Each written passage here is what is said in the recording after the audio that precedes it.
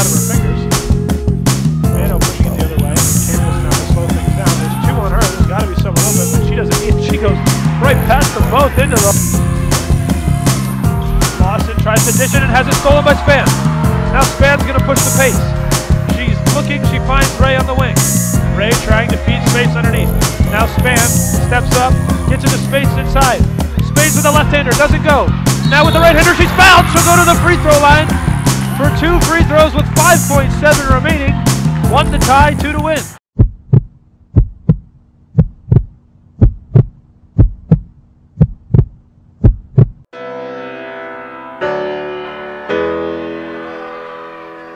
And gets that one to fall as well.